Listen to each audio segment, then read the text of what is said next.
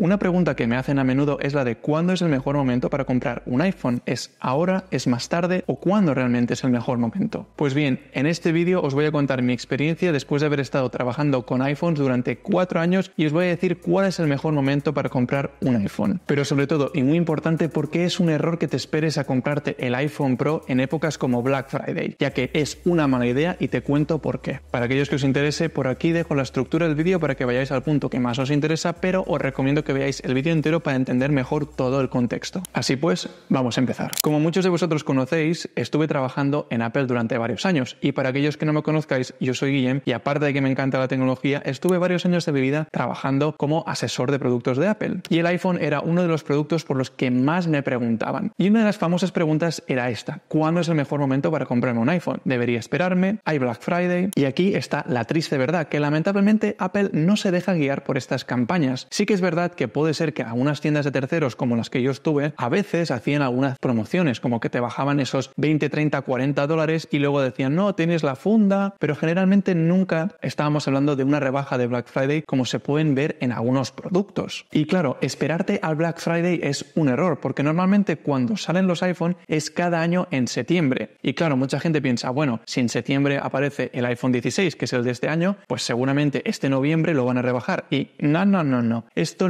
nunca funciona de esta forma. O al menos hasta ahora, y en mi caso, todos estos años que estuve trabajando, nunca he visto que en un Black Friday Apple diga, vamos a rebajarlo. De hecho, incluso lo que son los descuentos de educación que están para los Macs y los iPad, nunca han puesto el iPhone dentro de esa campaña. Por lo que el iPhone siempre ha sido un teléfono que prácticamente no se ha movido de precio y menos los de última generación. Sí que es verdad que cuando se renuevan los iPhone, que ahora iremos a ese punto, sí que es verdad que van bajando los precios, pero generalmente Apple con las nuevas generaciones y con los nuevos lanzamientos está todo el año con el mismo precio. Pues entonces, ¿cuándo es el mejor momento? Pues bien, hace poco me contactó una amiga que se llama Laia, que desde aquí la saludo, me contactó por Instagram y me dijo, oye Guillem, ¿tú qué entiendes sobre esto? ¿Cuándo es el mejor momento? Porque ahora va a salir el iPhone 16 y no me queda exactamente muy claro si realmente lo van a rebajar por Black Friday o si va a haber algún tipo de promoción o descuento. Pues bien, efectivamente, yo ya le dije que no había ese tipo de descuentos y que no se esperara hacer eso. Y entonces ella me preguntó, pero oye, ¿realmente vale la pena el iPhone 16 o el 16 Pro? ¿Realmente hay mucho cambio? Porque tengo el iPhone 14 y realmente no estoy segura del todo si va a ser tan diferencial. Pues bien, aquí es donde está la clave. Si eres una persona que, por ejemplo, quiere un iPhone Pro, es decir, de la gama más alta de los iPhone, pero realmente no eres una persona que se obsesiona por esos cambios que hay de, una generación a otra, porque realmente hay unos cambios que son muy incrementales y no podemos, por ejemplo, ver en el caso del iPhone 15 Pro y del 16 Pro un cambio abrumador, que de hecho aún no he hecho la review, si queréis suscribiros al canal para no perderosla, porque este tema también va a dar mucho que hablar con esa review. Pero volviendo al tema, básicamente si eres una persona que simplemente quieres un buen teléfono de gama alta y quieres que sea el Pro y que no sea el estándar, pues realmente el mejor momento es justo después del lanzamiento. ¿Y qué quiero decir? No me refiero a que vayas al iPhone 16 Pro, me refiero a que, por ejemplo, te esperes y luego vayas a por el 15 Pro justo cuando salga el 16 Pro. En este caso estoy hablando del 15 y del 16 Pro porque es el más reciente, pero si estás viendo este vídeo y va a salir el 17 Pro o el 18 Pro, quiero que apliques el mismo ejemplo. ¿Y qué quiero decir? Pues que básicamente cuando sale el 16 Pro, que ha sido el de este año, el 15 Pro es un modelo que lo van a retirar. Y en este caso, después de haber visto cómo era el 16 Pro, nos hemos dado cuenta de que han habido diferentes cambios como el botón de cámara y ciertos cambios más, pero realmente no dista mucho. Por lo que, por ejemplo, si eres como Laia que tenía un 13 Pro o un 14 Pro, pues realmente lo que te interesa más es comprarte un 15 Pro, porque justamente los modelos Pro del año anterior los suele retirar Apple. Y si no, fijaos bien, porque justo cuando ya sale el nuevo iPhone, al cabo de unas horas, el 15 Pro, que sería el de la generación anterior, ya no estaba disponible. Y la oportunidad está ahí, porque de una semana a otra, el 15 Pro pasa de estar a esos 1.200 y pico dólares a luego bajar de precio, porque sobre todo en tiendas que no son oficiales, pero que tienen iPhones en stock, directamente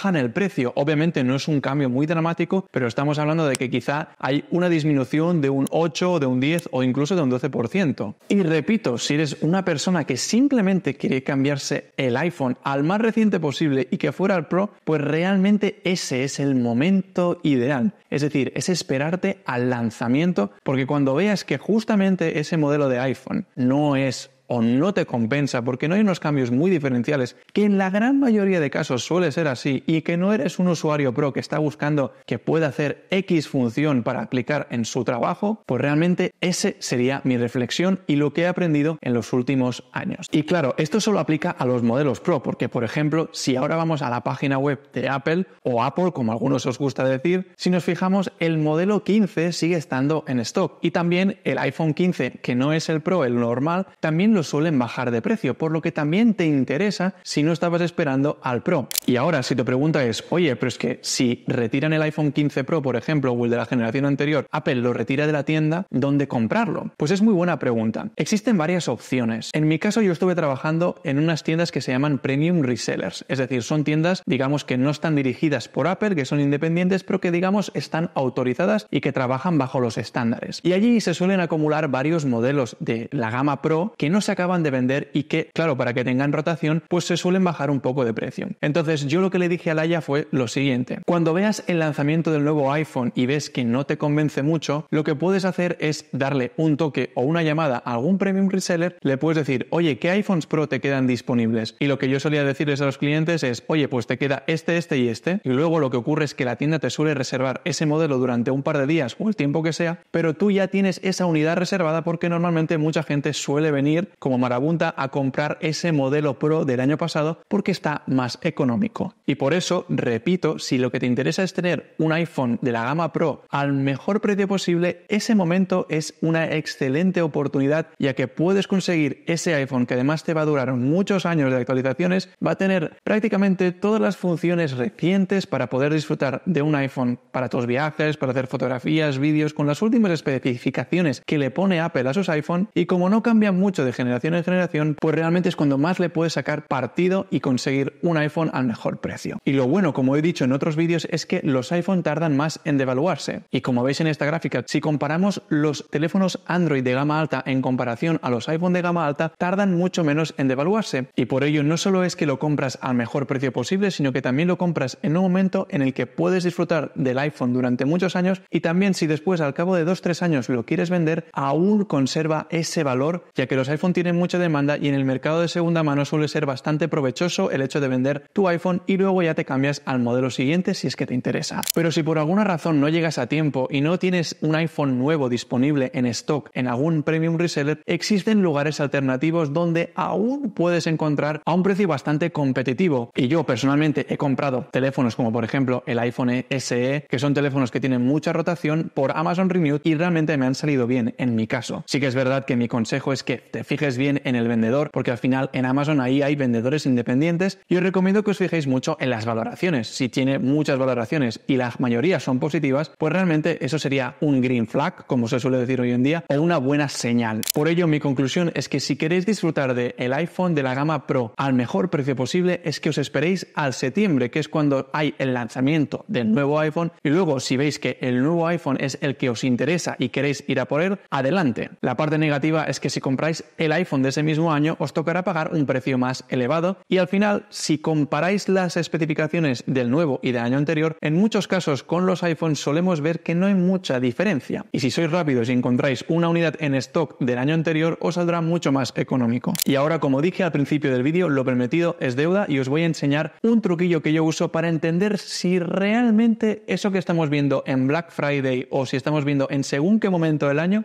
está realmente al mejor precio. Y es que yo utilizo una extensión que sobre todo la uso para sitios como Amazon que se llama Kipa o Kepa que podemos instalar y que es completamente gratuita. Y es una extensión que realmente es muy útil porque podemos ver un gráfico que nos muestra cuándo subió el precio, a qué precio está ahora y más o menos podemos hacer un traqueo para entender si realmente ese producto está a un precio elevado o no. Y la verdad es algo que me ha ido muy bien porque, por ejemplo, con la cámara que estoy grabando conseguí comprarla al mejor precio, ya que esta cámara solía estar a unos 600 dólares más o menos y al final, gracias a que me puse una alarma o una notificación, esta extensión me avisó y la compré luego cuando estaba por esos 450 dólares y la verdad creo que este tipo de cosas van muy bien porque al final, si tenemos un poco de paciencia, acabamos consiguiendo ese teléfono, cámara o lo que sea al mejor precio. Pues bien, muchísimas gracias por llegar conmigo hasta el final. Espero que este vídeo os haya gustado. Si es así, darle a me gusta. Y si eres nuevo o nueva, te recomiendo que te suscribas porque cada semana intento traer este tipo de vídeos que a mí me gustan y que espero que vosotros también. Una vez más, muchísimas gracias y si queréis por aquí o por aquí os dejo dos vídeos que si os habéis quedado con ganas, espero que también os gusten. Que vaya muy bien y nos vemos en el siguiente vídeo. Chao, chao.